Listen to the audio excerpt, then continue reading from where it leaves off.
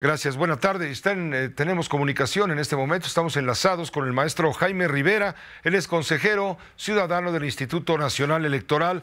Muchas gracias por aceptar la invitación. Eh, muy buenas eh, noches ya prácticamente. ¿Cómo les fue con el presidente? Una cosa es lo que diga la nota y otra cosa es lo que digan los protagonistas.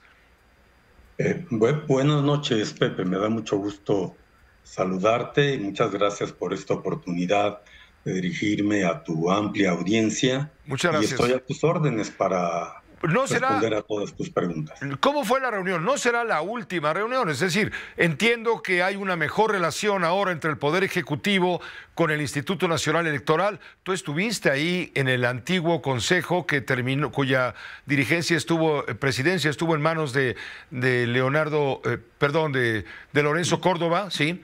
Y ahora, bueno, estás eh, con la nueva presidencia de, de Guadalupe Tadei. ¿Cómo va a ser la relación? Porque ahí dicen que, bueno, no falta quien dice que, que el INE hoy fue a Los Pinos a ponerse las órdenes del presidente. No, de ninguna manera.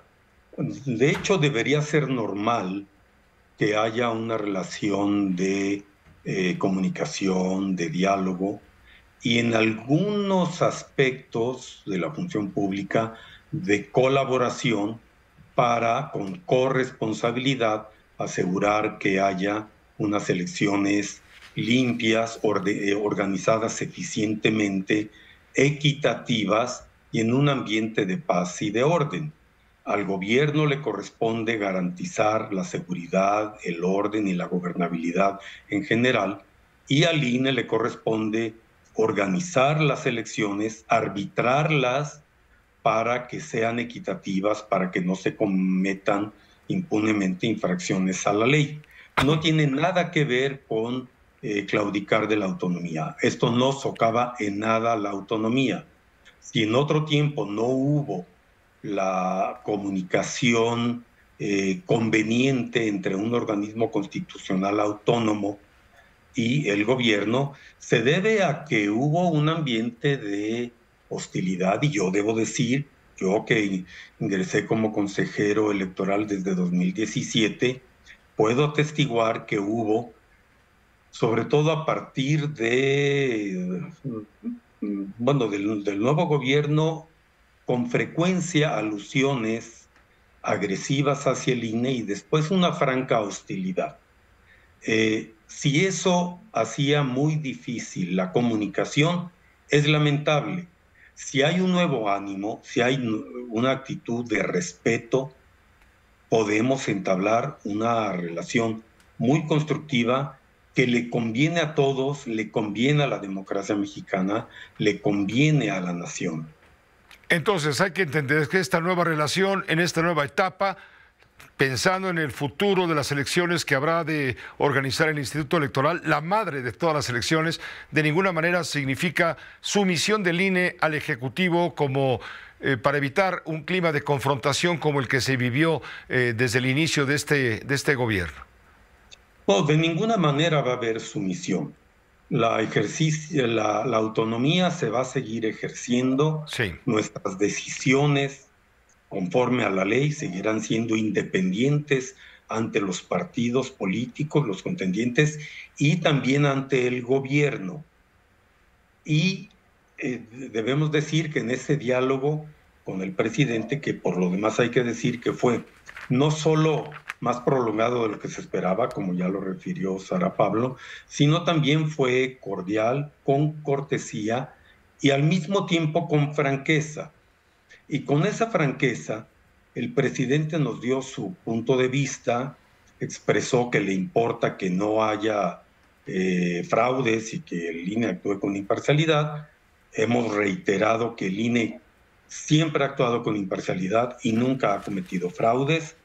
Pero además que la buena marcha de las elecciones depende también de lo que el gobierno haga y que la ley y la constitución establece ciertas obligaciones para el gobierno que sí pueden coadyuvar o dificultar la marcha de un proceso electoral. En primer lugar, el gobierno tiene que brindar seguridad pública, orden, aparte de colaboración para algunas actividades muy específicas de tipo logístico o de protección que el INE puede solicitar. Pero además hablamos de los límites que la Constitución y la ley imponen al gobierno en materia de propaganda en periodo electoral. Inclusive señalamos que la ley establece restricciones a los servidores públicos para que no intervengan de ninguna manera en las elecciones, ni siquiera con dichos. Hablamos también de la regulación conveniente a los programas sociales, una regulación pactada con el INE para que los programas sociales no puedan convertirse en un medio de coacción del voto. Es decir, estamos cuidando de la equidad en la contienda. Y hay que decir que el presidente respondió y dijo terminante y repetidamente, no me voy a meter a las elecciones. Así lo dijo él y nos parece un compromiso muy importante que seguramente va a ayudar a que las elecciones se, conduzca, se conduzcan de una manera más serena, más tranquila, que nos dediquemos nosotros al trabajo técnico y de arbitraje que nos corresponde y que el gobierno en sus competencias garantice el entorno político y de seguridad que conviene a unas elecciones libres y equitativas. Jaime Rivera, una pregunta. Ya que tocaste el punto, creo que es el meollo de la cuestión. Acaba de ocurrir en Morena un tema que tiene que ver con el programa para convocar a iniciar el proceso de sucesión presidencial, dicho en clarísimo, independientemente de los términos que se manejen. Ha habido denuncias de partidos políticos adversos a Morena y a sus aliados, en el sentido de que algunos de los interesados o de las personas participantes, llamadas corcholatas, a mí no me gusta el término, eh, han incurrido. Sí, no, han incurrido. Eh, se acusa que Claudia Sheinbaum ha incurrido en errores, eh, que ha gastado dinero, que eh, con qué recursos está patrocinándose, etcétera.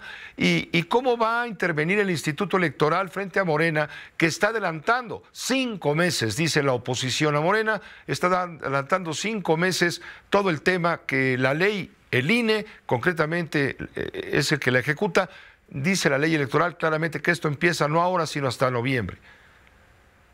Primero hay que recordar, si me lo permites, Pepe, hacer muy brevemente, pero un poco de historia.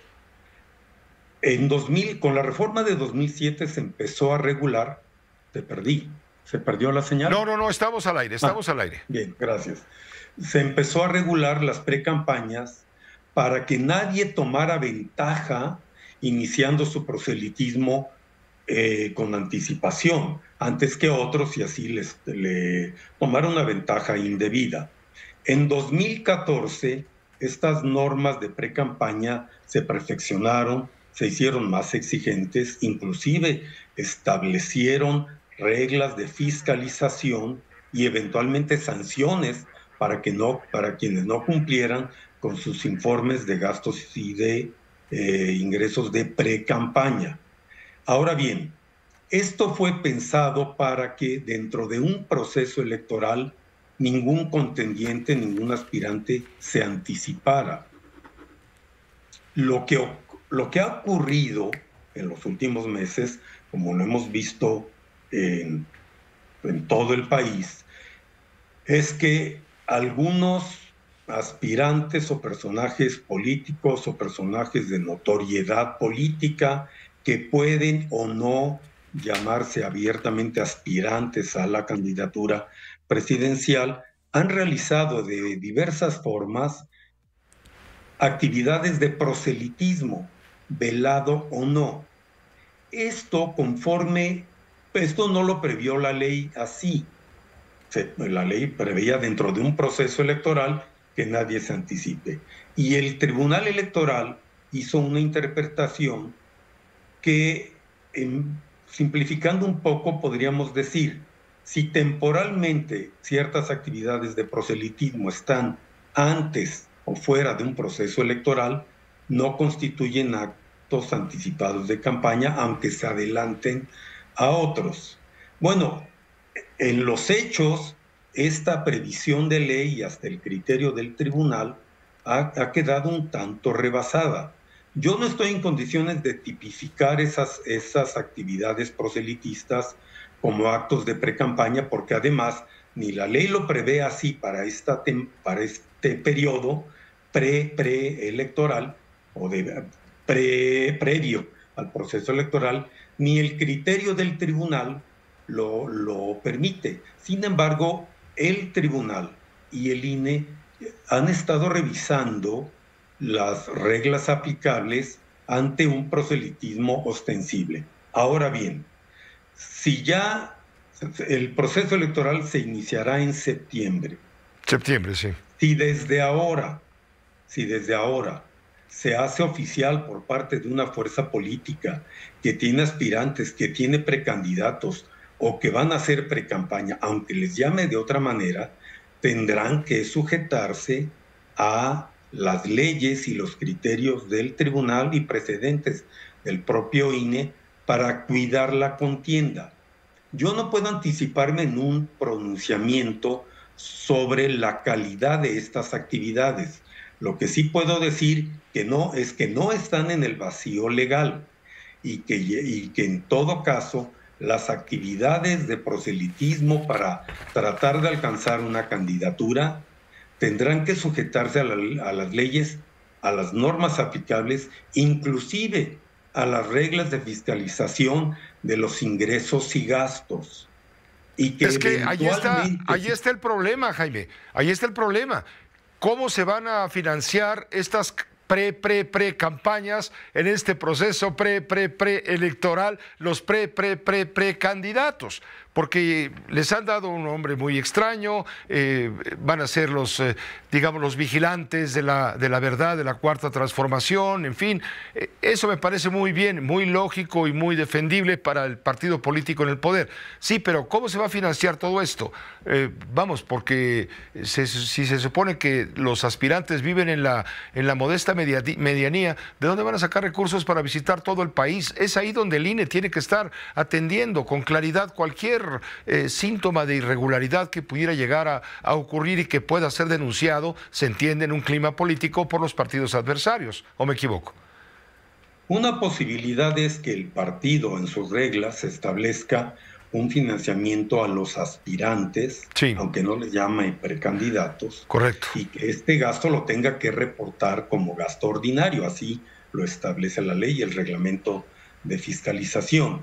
Pero esto eventualmente tendrían que hacerlo hasta a partir de la tercera semana de noviembre, que es cuando, cuando conforme a la ley comenzarán las pre-campañas.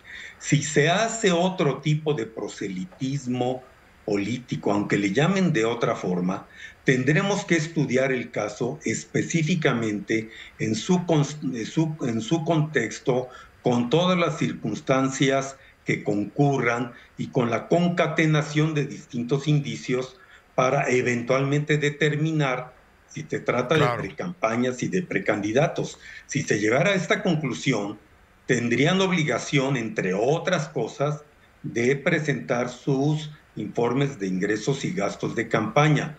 Pero además, si se determinara que hubo eh, actos anticipados de campaña, tal como lo prevé la ley, el tribunal podría determinar una sanción cuya la, gravedad de la sanción dependería de, cuán sistemáticas y reiteradas sean tales infracciones. Puede ser desde una infracción leve, perdón, una sanción leve o una sanción más severa hasta la pérdida del derecho a ser registrado. Pero eso es algo que no está suficientemente definido en la ley ni en los criterios del tribunal, pero en el tribunal y en el INE estamos conscientes de que hay resquicios por los cuales se han colado muchas actividades que son ostensiblemente proselitistas, pero que no se han tipificado propiamente como precampañas y por lo tanto tampoco de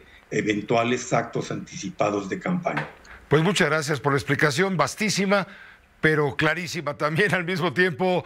Eh, Jaime, te agradezco muchísimo. Ojalá nos permita seguir en comunicación, porque esto a la gente le interesa muchísimo, porque finalmente es la que va a dar a conocer su opinión sobre el curso político de la historia de México y el Instituto Nacional Electoral es un órgano autónomo y, y por supuesto, 100% eh, confiable. Muchas gracias por estar con nosotros. Gracias a ti, Pepe, y me siento muy honrado de contar con esta oportunidad de conversar contigo, con tu amplia audiencia. Y si me permites decir una oración más, una de las funciones que debemos cumplir las autoridades electorales, aparte de organizar elecciones y arbitrar, es cumplir una función pedagógica para que la ciudadanía esté bien informada y pueda ejercer su voto de manera libre e informada. Eso es lo más importante. Muchas gracias, maestro Jaime Rivera. Buenas noches. Buenas noches. Es el maestro Jaime Rivera, es consejero ciudadano del Instituto Nacional Electoral. Eh, por cierto, hoy